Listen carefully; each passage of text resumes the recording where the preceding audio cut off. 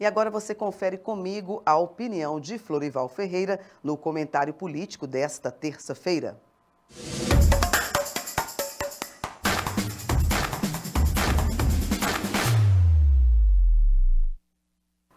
Uma prática política condenável e muito usada durante a ditadura voltou a ser denunciada na Câmara pelo vereador Denis Brasileiro.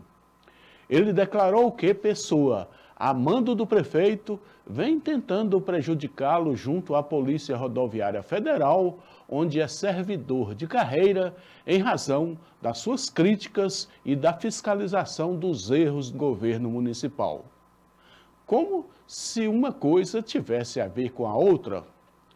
Para isso, e também para despistar, estaria sendo utilizada a Associação dos Municípios do Noroeste de Minas, a AMINOR, da qual o prefeito é presidente e onde abrigaria o dedo duro.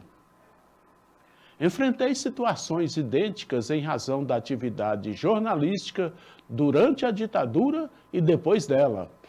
Houve época em Paracatu em que, se não gostassem de uma reportagem, de uma crítica ou um comentário jornalístico da minha autoria, no jornal, no rádio ou na TV, no dia seguinte corriam e iam reclamar para o gerente da caixa onde eu era concursado. Pediam a minha cabeça.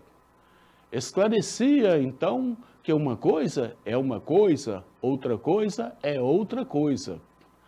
Não sou comentarista político na Caixa e nem carimbo cheques no rádio e na TV.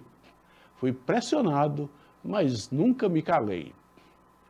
E o outro Denis, o Dantas, chamou seus colegas na regulagem.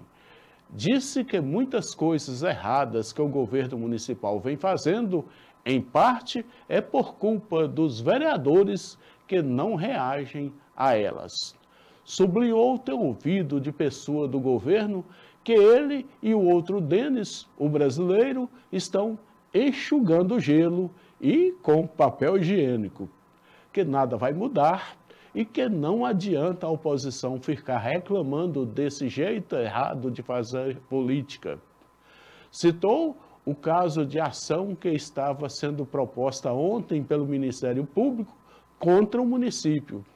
Isso porque a prefeitura ter, teria descumprido acordo para dispensar os servidores nomeados, apadrinhados e dar posse aos concursados.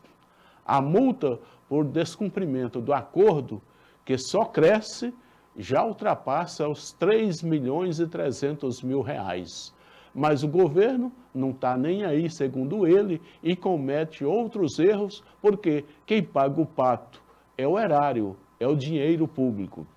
E são minoria os vereadores que reagem a isso.